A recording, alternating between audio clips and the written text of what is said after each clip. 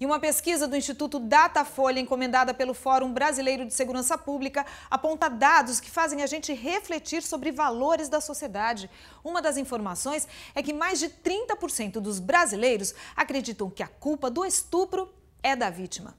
Aos 19 anos, essa jovem que não quer ser identificada fala da violência sexual que começou a sofrer na infância, com apenas 8 anos de idade.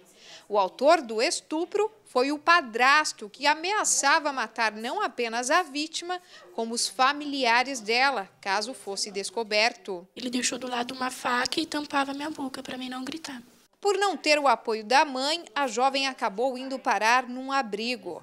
E algum tempo depois sofreu mais um ato de violência, desta vez do próprio pai. Mesmo sabendo de tudo que eu passei, ele continuou, falou assim: já que todo mundo pode mexer com você, eu também posso. Só em Araçatuba, de acordo com dados da Secretaria de Segurança Pública do Estado de São Paulo, no ano passado, mais de 200 pessoas foram vítimas de estupro. Entre janeiro e junho deste ano, foram contabilizados 121 estupros. Uma pesquisa revela que 65% dos brasileiros temem sofrer algum tipo de violência sexual e mais de 30% acreditam que nos casos de estupro a culpa é da mulher.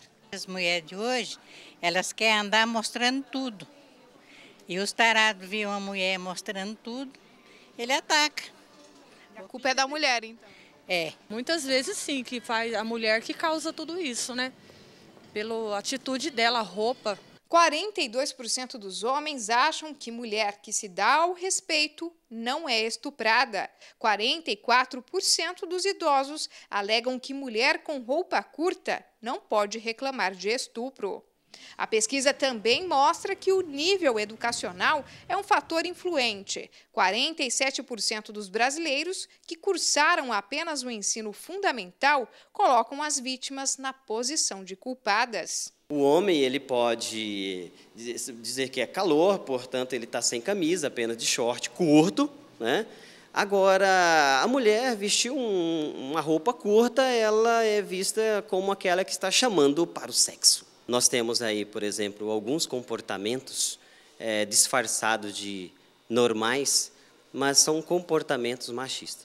Reforçar valores de igualdade que estão previstos na Constituição Federal e resgatar a essência do homem, que se caracteriza pela racionalidade, são fatores fundamentais para criar uma sociedade mais justa, sem diferenças entre homens e mulheres.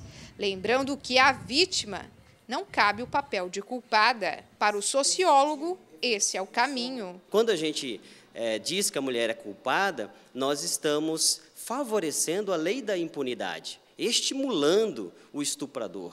Nós estamos é, tendo na visão do estuprador aquele comportamento. Eu não acredito na lei, eu não acredito na polícia, eu não acredito na justiça. Nós deixamos aí de valorizar aquilo que é próprio do homem: a capacidade de pensar, a capacidade de refletir, traçar uma vida planejada, uma vida de expectativa.